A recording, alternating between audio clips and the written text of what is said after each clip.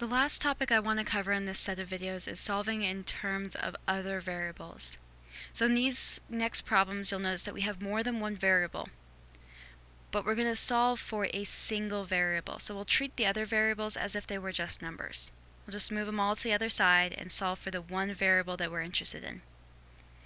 If you have multiple variables in the equation, we can solve for that for one of them. So for example, I gave you the equation f equals 9 fifths c plus 32. This is the equation to convert from Celsius to Fahrenheit. However, if we wanted to, we could solve for C, allowing us to convert from Fahrenheit to Celsius. So we take our equation, F equals 9 fifths C plus 32. We want to start with the least complications, the, start from the outside and work in. So we subtract from 32 from both sides which gives us 9 fifths c equals f minus 32.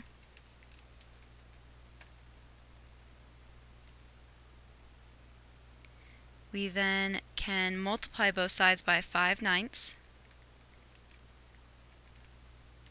And we get c equals 5 ninths times the quantity f minus 32, which is the formula for plugging in degrees Fahrenheit and solving for degrees Celsius. And that is your final answer. We're simply rearranging these equations. You don't have to actually find a numeric value for C. Now that you've seen that one, try example 3 on your own. In each of these three equations, solve for the indicated variable. Pause the video, try these individually first, and then resume the video when you're ready to check your solution. Okay, in example A, we have P equals 2L plus 2W. This is actually your formula for perimeter of a rectangle. But we're going to solve for L. So first things first, we want to move the 2w term over.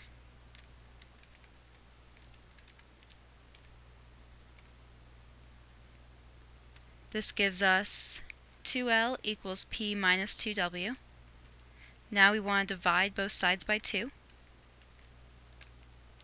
So we're left with L equals P minus 2W all over 2. Make special note, these 2's do not cancel. For them to cancel, you would have to have a 2 in front of the P as well. So we're going to leave it just as is. That's our final answer. Okay, how about example B? We are given c equals 2 pi r, which is the formula for the circumference of a circle, but we want to solve for r.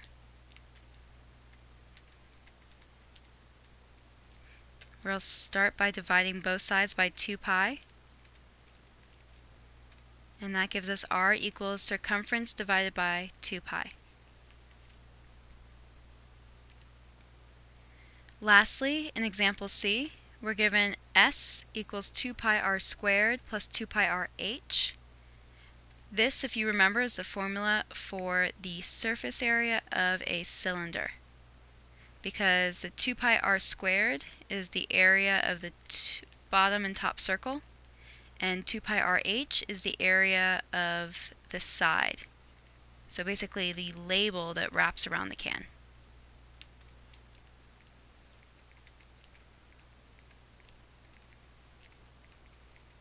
Alright, we notice that r is only in this far right term. So we're going to subtract 2 pi r squared to the other side. This gives us 2 pi r h equals s minus 2 pi r squared.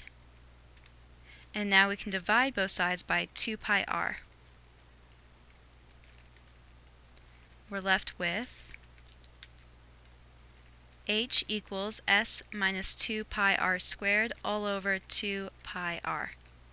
Again, notice the 2 pi r's do not cancel because it's not present in both terms in the numerator, which makes this our final answer. h equals the quantity s minus 2 pi r squared all over 2 pi r.